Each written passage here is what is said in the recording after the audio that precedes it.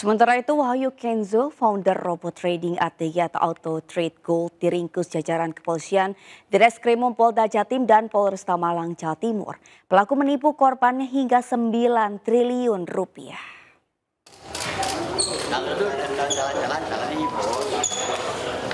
Wahyu Kenzo yang disebut-sebut sebagai Crazy Rich Surabaya memiliki robot trading Auto Trade Gold ditangkap aparat Polresta Malang bekerjasama dengan Polda Jawa Timur.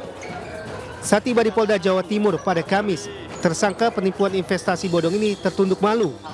Wahyu terbukti melakukan penipuan melalui robot trading ATG sebesar 9 triliun rupiah. Modusnya, tersangka menjanjikan kepada para korban keuntungan hasil investasi berkali-kali lipat. Awalnya para korban berhasil mendapatkan keuntungan dengan penarikan tunai, tapi belakangan keuntungan itu tidak bisa lagi dicairkan. Tersangka yang diduga menipu korban hingga puluhan ribu orang ini kerap memamerkan kekayaannya di media sosial. Saat ini polisi masih melakukan pendalaman dan penyelidikan untuk mengetahui pasti jumlah uang yang dikumpulkan dalam robot trading ATG yang dikelola oleh PT Panskai Berdikari tersebut. Dari Surabaya, Jawa Timur, Rahmat Ilyasan, iNews melaporkan.